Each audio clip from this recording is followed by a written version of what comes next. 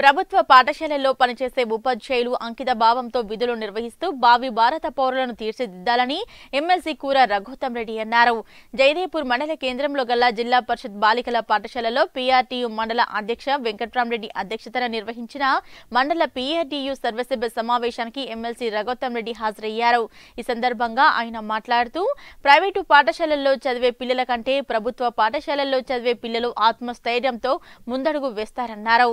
ఈ సర్వే సభ్య సమావేశంలో మండల అధ్యక్షులుగా మరోసారి చిలుకూరి వెంకట్రామరెడ్డి కార్యదర్శిగా కుకునూరు శేఖర్ ఉపాధ్యక్షుల నరసింహారావు మహిళా ఉపాధ్యక్షురాలిగా రాధిక కార్యదర్శిగా మోతీరా మహిళా కార్యదర్శిగా సుజాత ఏకగ్రీవంగా ఎన్నికయ్యారు.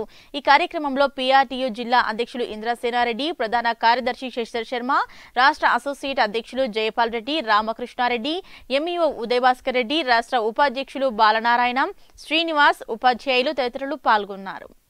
తనకున్నటువంటి ఆలోచన విధానాన్ని కోల్పోకుండా ఆవేశానికి లోను కాకుండా ప్రత్యేకించి సంఘ నిర్మాణంలో మండలాలకు సంబంధించిన అధ్యక్ష ప్రధాన కార్యదర్శి మాత్రం సంఘాన్ని అదే విధంగా నడిపించడంలో ఎంత కృషి చేసినటువంటి సందర్భాన్ని.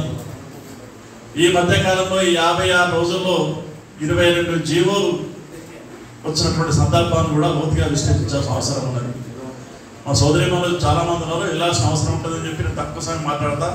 ఎక్కడైనా గంట మాట్లాడాల్సిన అవసరం ఉంటే కానీ దాని సంఘాన్ని కుదుర్చుకుంటాను అత్యవసర సమావేశం ఏర్పాటు చేసి వాళ్ళ అభిప్రాయం కూడా క్రోడీకరించి ముఖ్యమంత్రి గారి మధ్యకాలంలో కొంత మార్పు వచ్చింది. ఆ మార్పు అంతకుముందు జరిగిన ఎన్నికల ఫలితాలు మీకు తెలియని కావు. దుబ్బాక కానీ హైదరాబాద్ కార్పొరేషన్ ఫలితాలు కానీ ఆ మార్పును మనం ఉపయోగించుకోవాల్సిన అవసరం ఉన్నది సంఘం ఎప్పుడైనా సరే కీలేని వాత పెడుతుంది కాబట్టి పిఆర్టీ సంఘం. ఫిబ్రవరి తొమ్మిదిన ధర్నాకు పిలిపించాం. ప్రభుత్వం కొంత ఇబ్బందులు ఉన్నప్పుడు ఆ సమయంలో మనం ధర్నాకు పిలిపించాం. ఆ ధర్నా మనం ఊహించింది కంటే గొప్పగా ప్రతి జిల్లాలో పదిహేను వందల నుంచి ఇరవై ఐదు వందల మంది దాకా. ఈ రాష్ట్రంలో అరవై వేల మంది సబ్ పంచాయతీ టీచర్లు రోడ్డు మీద ధర్నా కార్యక్రమంలో పాల్గొన్నారు.